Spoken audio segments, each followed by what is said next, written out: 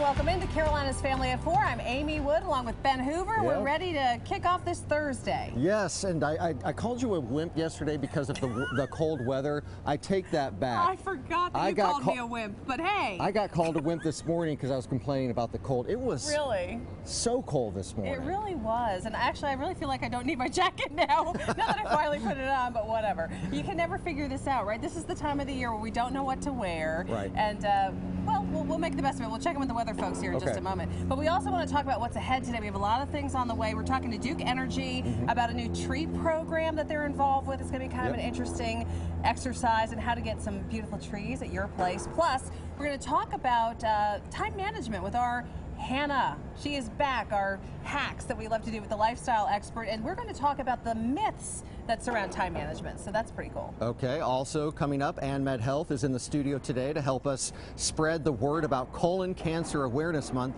It's coming up in March. And I'm so sorry about that. I had the, my script up, but I did not have yours pulled That's up for okay. you. That's all right. Uh, we've got we've got a lot of good things on the way today. We hope Yeah. we hope you'll continue to watch. Uh, of course, we have a, a seven cam shot that uh, we would love to show you as well. Um, Oh, yes, and we we, forgot we about forgot that. about that. We're a hot so mess We want to show you. This is uh, is it Jolene?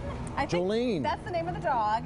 Jolene. Jolene. Yes. Jolene. And she is the cutest dog. She's in the car getting ready to come downtown in Greenville. Jennifer Pitts shared that photograph with us, another seven cam shot. And Mm-hmm. so we're kind of keeping an eye out. We're like looking around. Where's Jolene? Because we know she's downtown for a walk.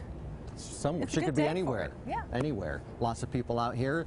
Full sunshine today, but it is still cold. Let's check in with who is doing weather today. I'm not Dan sure. Bickford. Dan Bickford is in Spartanburg. I'm just here for you to help you. with more on your forecast. Hey, Dan. I like how you two help each other with the We try. scripts and you know the talking. I don't know what we would do good. without each other at this point. I know, point. yes, it's tough.